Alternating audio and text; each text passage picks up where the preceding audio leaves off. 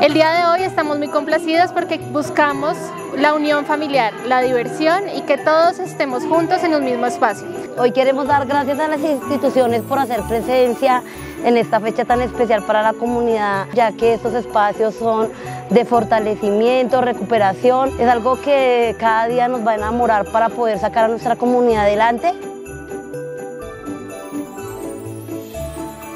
Muchísimas gracias por esto que hacen por nosotros, por los niños, por la comunidad, los abuelos y que ojalá el otro año pues sea lo mismo. Soy feliz ganadora hoy de un premio y felices fiestas. Feliz Navidad para todos.